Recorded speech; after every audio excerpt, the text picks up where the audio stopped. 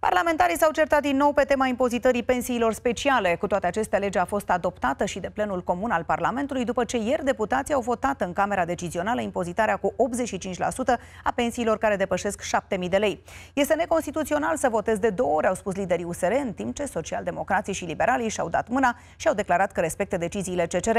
Legea va ajunge oricum la Curtea Constituțională după contestația făcută de reprezentanții judecătorilor, una dintre categoriile afectate de impozitare vor să-și păstreze privilegiile. Asta este realitatea. Să știți Dacă că nu suntem surzi. Alo, domnul, domnul, domnul deputat, domnul deputat, vă rog frumos, nu m-a dat cuvântul. Consensul general prin care deputații au votat ieri covârșitor impozitarea pensiilor speciale a dispărut astăzi. Parlamentarii USR susțin că votul dublu din plenul reunit de astăzi le va da motiv judecătorilor CCR să declare legea neconstituțională. În această prevedere este exact ca într-un film de Sergiu Nicolaescu unde băgați un pachet de dinamită la temelia constituțională a acestei legi, asigurându-vă că respectiv Curtea Constituțională va respinge această, această, această lege. Toate celelalte partide susțin însă că era necesar acest vot în plenul reunit al Camerei Deputaților și al Senatului, pentru că modificările vizau statutul parlamentarilor și pensiile lor ar urma să fie impozitate prin această lege. Ne-am întors fața spre popor,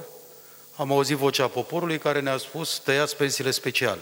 Fiind vorba de statutul parlamentarilor, e nevoie de un plen reunit și a vota acel articol care face referire la parlamentari, astfel încât pe lângă magistrați, militari, polițiști, aviatori și alte categorii care beneficiau de pensii speciale majore, să impozităm și pensiile speciale ale parlamentarilor. Dacă legea ar intra în vigoare, mulți parlamentari ar avea de suferit. Peste 500 de foști deputați, aproximativ 200 de foști senatori, beneficiază în acest moment de pensii speciale. Lunar primesc sume începând cu 2000 de lei, iar în unele cazuri sumele depășesc și 12.000 de lei. Afectați ar fi și aviatorii, procurorii, judecătorii, polițiștii sau militarii, ale căror pensii depășesc 7.000 de lei. Ce trece de acest prag se impozitează cu 85%. Un alt prag se va impozita cu 10%, tot ce înseamnă pensii speciale între 2.000 și 7.000. În acest fel, dacă acum un procuror primește pensie specială de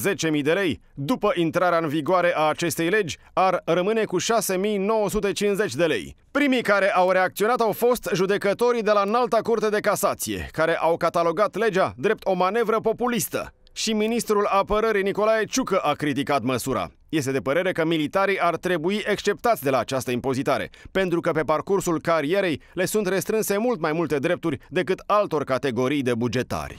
Urmărește cele mai tari show-uri integral pe ProTV+.